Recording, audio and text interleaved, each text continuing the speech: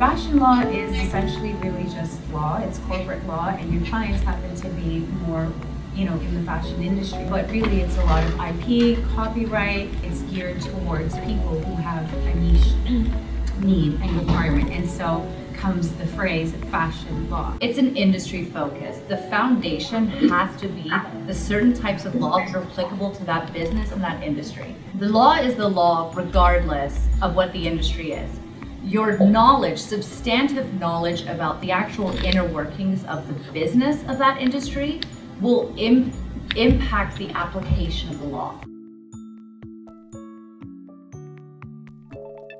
Louis Vuitton taking on vicarious liability of flea market owners. Mm -hmm. Like that's a that's a huge one. We've got Sears bankruptcy. That's going to be very interesting as well. So there's some big cases coming out in the sort of counterfeiting retail space. I did a consultation with a client two weeks ago, and this was about um, the emergence and legalization of cannabis. So if you follow the fashion law, they're actually talking about how there's so many trademarks that are coming in through not just the US, but even on the Canadian side that are looking to incorporate either the logo or the phrase into products. And fashion is one of the industries that are being um, influenced by this.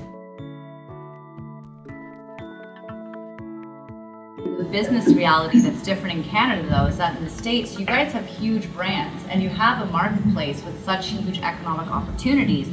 But in Canada, it's more limited.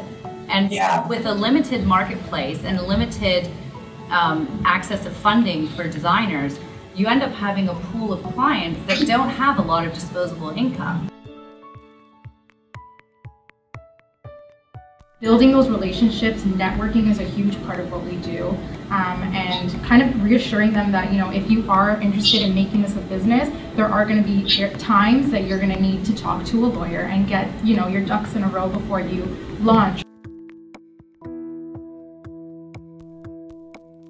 Start to engage with the industry in different ways so you really build that foundational knowledge and that network. You are sort of your own resume and your ability and your experiences will speak to the individuals who you network with if you do it in the right way. So I'm a firm believer in hustling and sort of marketing yourself out to firms that you are interested in or even mentors or potential individuals who can help you further down your career.